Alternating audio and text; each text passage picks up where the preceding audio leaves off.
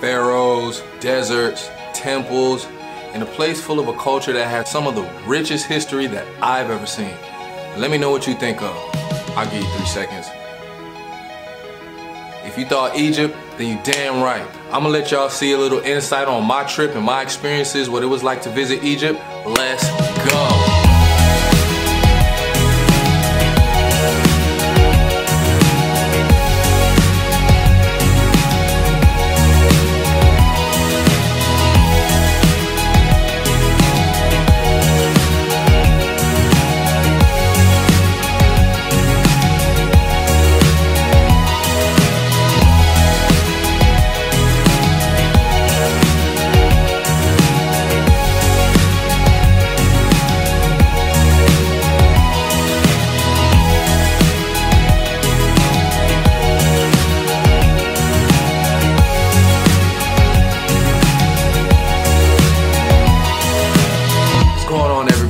It's your boy Gerry G, aka Mr. G is International, coming at you back in full effect with another video. Yo, I swear I'm so excited to show y'all my my trip and our experience through Egypt, man. Like, it's crazy to think that I live in Qatar and all it really takes is like a three hour flight to see something that I've been wanting to really see since like my fifth, sixth grade year. And I was just so captivated with like pyramids and the gods and all these stories that they was telling like Egypt has really always been somewhere that I felt like I just needed to see for myself because I mean let's honestly think about it. Like some of the monuments and some of the history and like some of the things that you hear about it it, it really sounds unreal. But for me I just know I had to put my eyes on it. So once I got the full chance to to to go ahead and put my eyes on it you know you know I absolutely had to jump on the opportunity to go ahead and check out what Egypt is offering. Right now, I really want to just, you know, just dive deep, you know what I mean, and, and, show you all from my perspective what Egypt is really offering, you know, some things that you should pay attention to, look out for if you're if you're considering going to Egypt, you know what I mean? This is the video for you. Let's go. We spent about seven days out in Egypt. I would say that on your very first day, probably just gonna wanna sleep that thing off. Obviously, day one, that's exactly what we did. We chilled in the lobby. Shout out to the La Méridien for having two whole bars in their hotel. They made our lives so much easier. One bar was way too packed, we had the whole option of going to a whole other bar to get them same Long Island iced teas and them same tequila sunrises. And let me tell you, a brother loves them Long Island iced teas and tequila sunrise. That gets your mans and your girls straight, straight. When I say straight, straight, boy, I mean straight, straight, boy. I mean straight, straight, boy. I mean. But that was pretty much day one. It was pretty much a throwaway, you know what I mean? Just kind of the chill and relax. Let me tell you about day two. Day two was something that I don't think I, I, I could have ever experienced. Day two comes, you know, at a different pace than day one. It's time to get down into some shenanigans. let me tell you, the very first thing that we did day two was pull up on the Giza Plateau and see them pyramids. Paying for tickets and walking up to the pyramids, that is a very much surreal experience. Like, you don't feel like you've actually seen these pyramids until you've put your hands on it. Like, it's some crazy stuff. The things that you're seeing in your social studies book, whatever book you're reading, whatever you see on TV, it absolutely does not do the justice of a monument standing 450 450 50 feet in the air, and it's three of them things. It's three of them things. You often catch yourself talking about, fam, like, what's going on? Fam, I cannot believe I'm here right now. Fam, how did they do this right now? Fam, this is so surreal. Like you have all these questions going through your head to try to put answers to how you are witnessing something that was built so long ago. A brother like me, like I don't just want to see some stuff, like I want to get into some stuff. I don't know about y'all, but I'm a big gamer.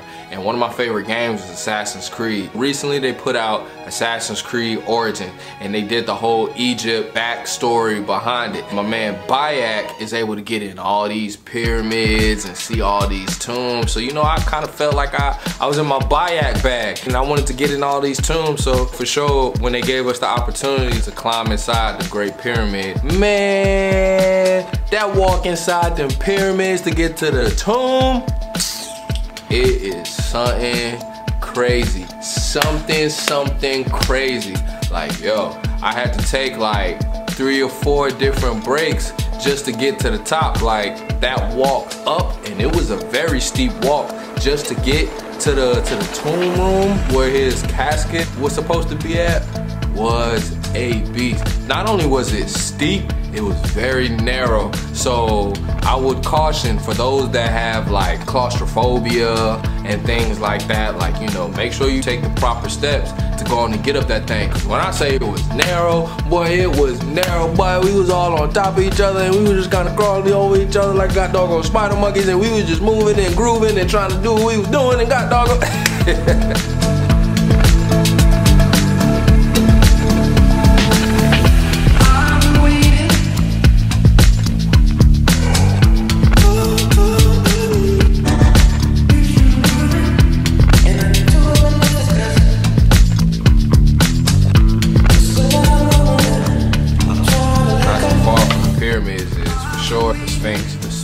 in itself is supposed to be like the guardian of pyramids. It's supposed to be face, you know, unless you come around here, you got to see me. It is literally the guardian of Giza Plateau. Now, when you see the Sphinx, you know, you'll see things like its nose has been knocked off, and that's just from things like time passing, earthquakes, weather conditions, people looting, people up to no good, causing damage to these structures, but the Sphinx definitely still stands. Fact of the matter is, the Sphinx is one of the absolute largest architectural structures that was built back in ancient Egyptian times. Seeing the Sphinx, it just felt so powerful.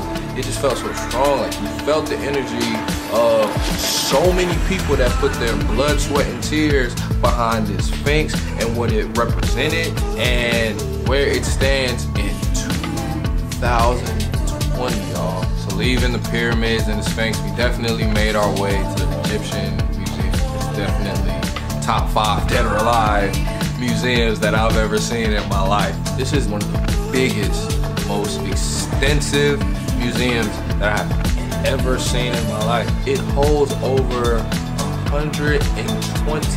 120,000 120,000 artifacts full of nothing but Egyptian history. You gotta keep going back to the fact that if you're considering visiting Egypt, you're definitely considering because of some of the history that is compounded into this country. I'm talking from tombs, from things that they covered, from temples, like all these things are compacted into one museum. It's two floors and unfortunately, even though we only spent about an hour's worth of time in this museum, it's not enough to really get a full grand scale idea of what this museum holds. You get to see things like the pieces that were recovered from Tutankhamun's tomb, all the gold, all the riches, his actual sarcophagus, the gold plated things that were all over his his tomb and his casket. I mean, it is unreal. Not only do you get to see things like that, you definitely get to see a few mummy pieces in there as well. And I'm talking mummies that still are wrapped in their cloth and still got hair on their head and all you're really seeing is skin and bones. I mean, this museum is very extensive. The fact that you're in Egypt, I would definitely recommend that you go take some time and go check out the Egyptian Museum.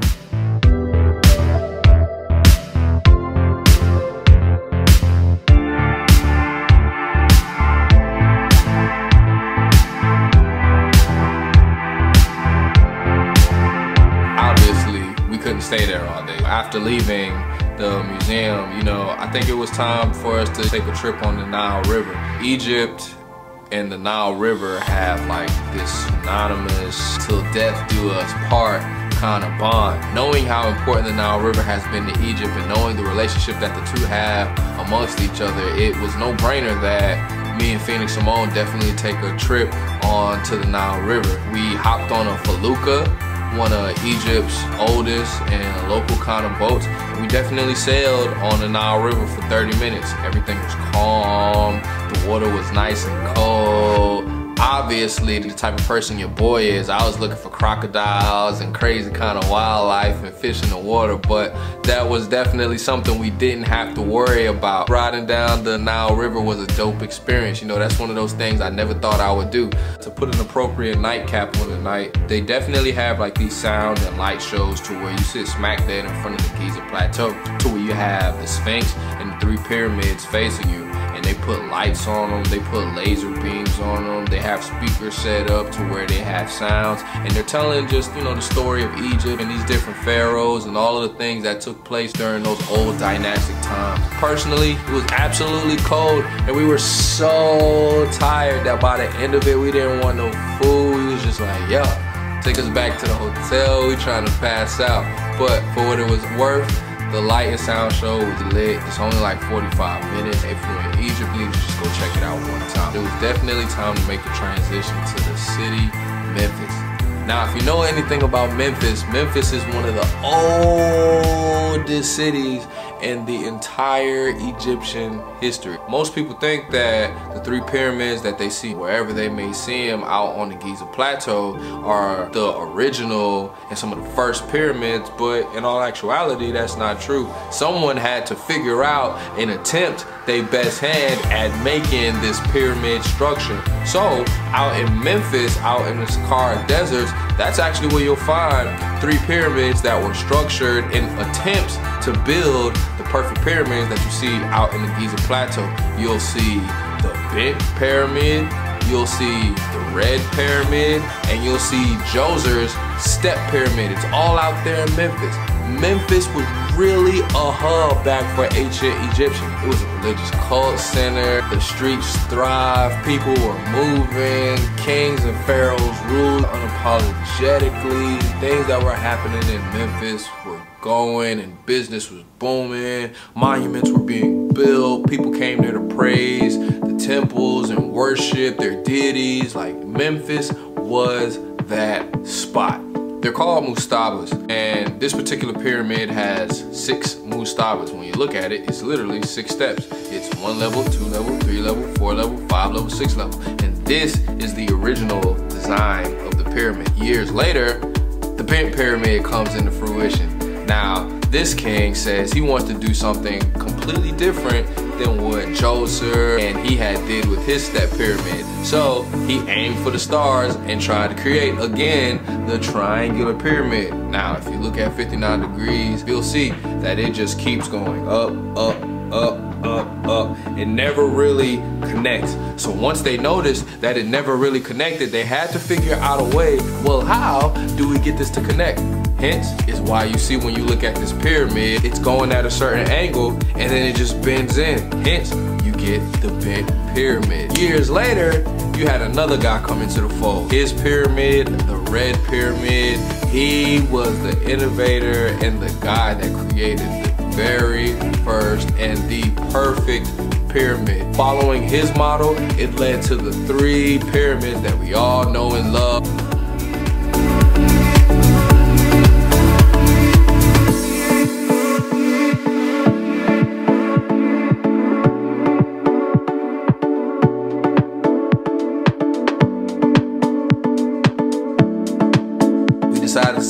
Trip on the Nile River. It was this big old cruise ship. They had a restaurant inside it. They had a local band playing the drums. They had a belly dancer giving off the traditional Egyptian vibes. I mean, it was, it was really a dope time. It was about an hour and a half. And I would recommend, especially if you got a significant other, man, just cruise along the Nile River, you know, taking some vibes, drink some drinks, watch the belly dancer do her magic, listen to the music being played played. I mean, it was really, it was really a dope time.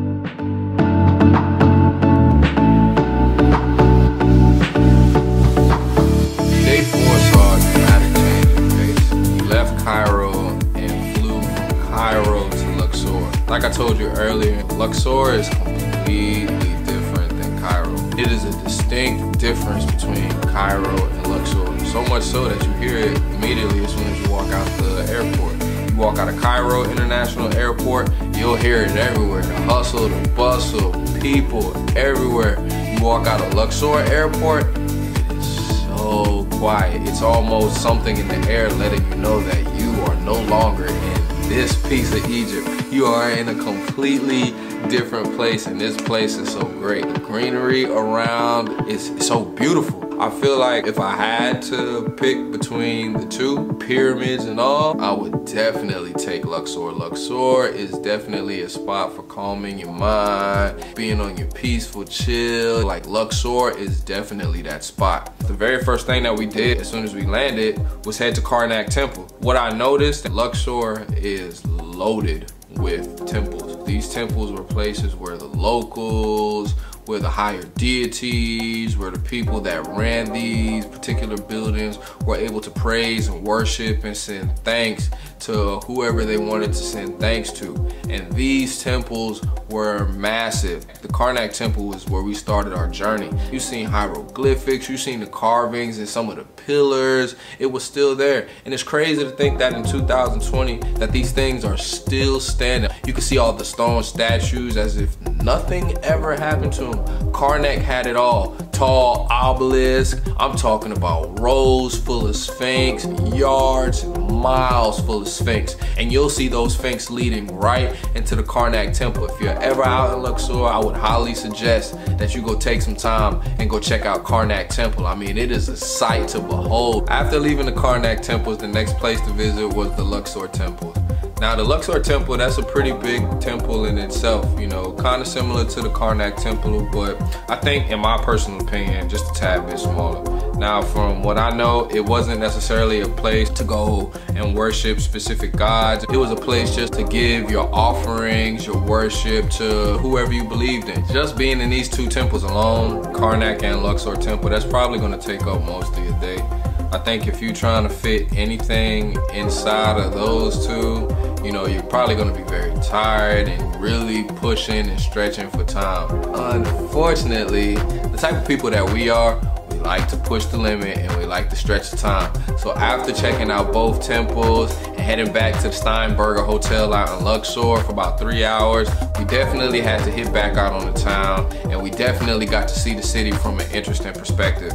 We were able to hop on a carriage that had a horse and we were able to really just check out the whole city from horseback. Your boy got to ride right on back of that horse and really see what the what the city was talking about. And man, let me tell you, the people were so friendly, they were so genuine, they were so nice. They were just handling their business, worrying about their own lives. They weren't really trying to check and pay attention to anything else that was going on outside of what they had going on. I think one of the dopest things that I got to do while I was on horseback was actually sit down and take some time to drink some sugar cane juice. That sounds crazy, right? Sugar cane juice. You know it ain't nothing but sugar and sugar in juice form, but I drank it and it tasted good and it made me go mm mm mm mm mm mm mm. And I got to watch Phoenix Simone hug up on a horse. And meanwhile, while she hugging up on a horse, I was just like mm mm mm mm mm while I'm drinking my juice. It was such a dope time. It was such a dope time. I think one of the dopest things that I really enjoyed was just riding around the city on horseback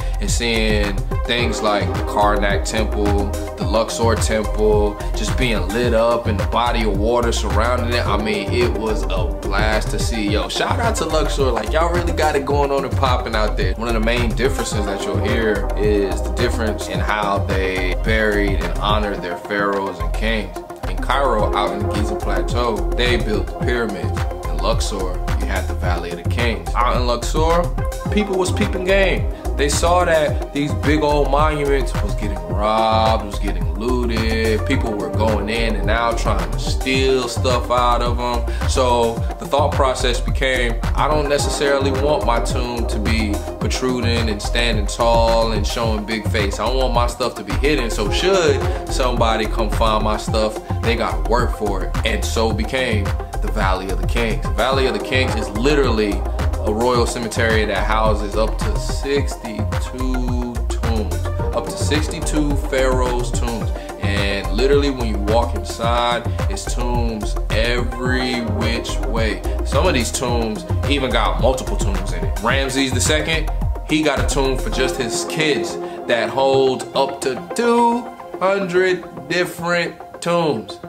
Holmes is out here getting it in. Not him and his kids, but he got his own separate tomb somewhere else. So the Valley of the Kings was definitely that spot. They just really didn't want to be out and about. They wanted their stuff to be a little bit more secluded. They wanted their stuff to hold and preserve a little bit more and just be a little bit more harder for people to come in and try and steal their stuff. One of the most famous pharaohs that we spoke about earlier, King Tutankhamun, his tomb is actually still housed at the Valley of the Kings right now. Ramses the second, Ramses the third, Ramses the fourth, and all the way up. It's 62 tombs. And the interesting thing about the Valley of the Kings is that when you're looking at it face on, you can see that even though there's no pyramid structure at the very tip of the mountain form, that it shapes and it shows a pyramid form that resembles the old style of the tombs of the Giza Plateau pyramids and the pyramids out in the Saqqara Desert. Now, I'm not gonna lie, I went out today to go to the Valley of the Kings with my nice little pea coat on,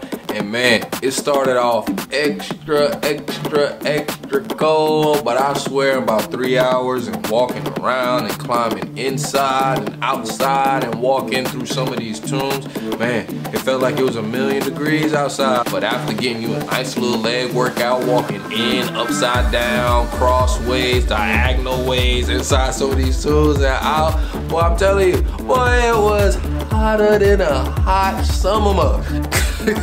After leaving the Valley of the Kings and taking all that in, the very next step was to go see one of the queens that I held in high regard. Queen Hatshepsut. Hot chicken soup. Hot chap soup. Queen Hatshepsut. Now, she has one of the dopest stories that I've ever heard back in Egyptian times.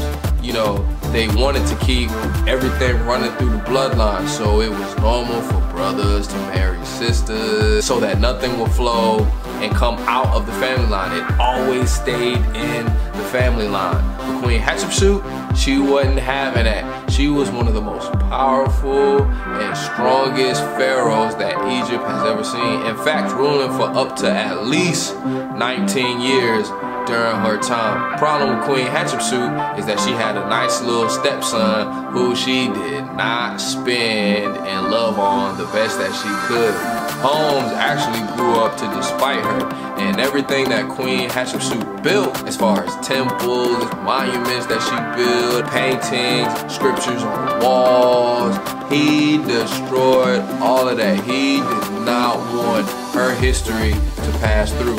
So, one of the places that we went to go visit was the mortuary site of Queen Hatshepsut. Dope thing about this site, most of the mortuary sites, when they go to mummify king, queen, whoever it may be, these sites can only be used one time. These sites were specifically built to house the people that mummified them for the next 70 plus days. Another dope thing about Queen Hatshepsut, she ruled with such an iron fist and was definitely one of Egypt's greatest rulers that she didn't even want it to be seen as a woman in every monument that you've seen, in every depiction, in every painting that you see, she is dressed and painted as a man. You would never know that she was a woman that ruled Egypt during one of its best times through prosperity. Fortunately, it was time to take our talents back to Cairo. We didn't really do much outside of sit at the bar and enjoy a happy hour and really just talk about all the surreal things we've seen. It was the end of the end. It was time to leave Egypt and head on back here to Doha, Qatar. Anyway, that's all we got for y'all. This was our little trip out here in Egypt. You know, we definitely got to see some surreal things, some things that, you know, we both wanted to see since we were little kids. And, you know, it was just an amazing thing to be able to see those things in person. Like, I don't think out of all the traveling that I've done, that anything compares to some of the monuments that we've been able to see. You know, I think just the, the thought process behind the fact that, oh my gosh, like these people did this thousands and thousands of years ago. And in 2020, you know, you're able to still see these things and people are able to still dig and find so much new stuff and uncover new monuments and see new hieroglyphics and see all these things. Like Egypt is definitely a hidden treasure by the term of the word. It's a hidden treasure. So I encourage anybody who has the time, who's in the vicinity, who's curious, who's ever thought about it, who's ever teetered on the line, definitely take that chance. Like Egypt has so many things and has so much to offer to a person that is ridiculous. With that being said, I just want to send a special shout out and thank you to Memphis Tours.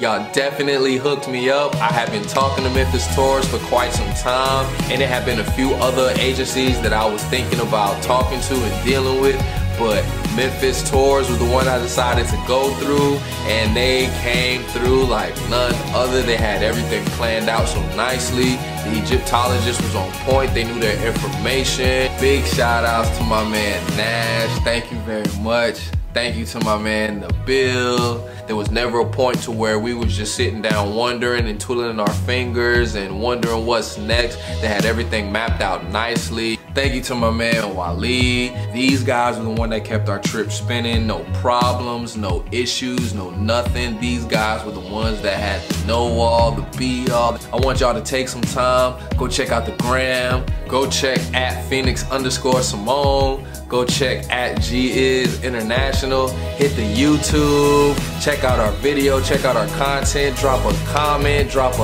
like. Subscribe. Let us know what you think. Let us know what we could be doing better. Let me know what you're seeing. Let me know how you're feeling about Egypt. Let us know what's going on. Let us know the opinions on this vlog right here. Let us know where you want to see us go next. We really invested into this travel culture and we really trying to see this entire world and as much of it as possible. We really trying to bring the world to y'all. With that being said, it's your boy Gerry G.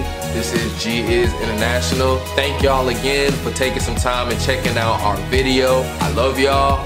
Peace. Good night.